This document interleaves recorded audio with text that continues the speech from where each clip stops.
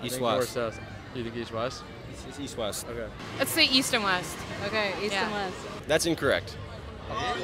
Latitude. Latitude is like a ladder, so it runs east So west. it runs east west, and does it measure east west? I just want to make sure. I think it measures Like east I'm west. sure it does. I think. But wouldn't it tell me? It will. It wouldn't tell me how far east it is. Because Lines of longitude would tell me how far east something is, though.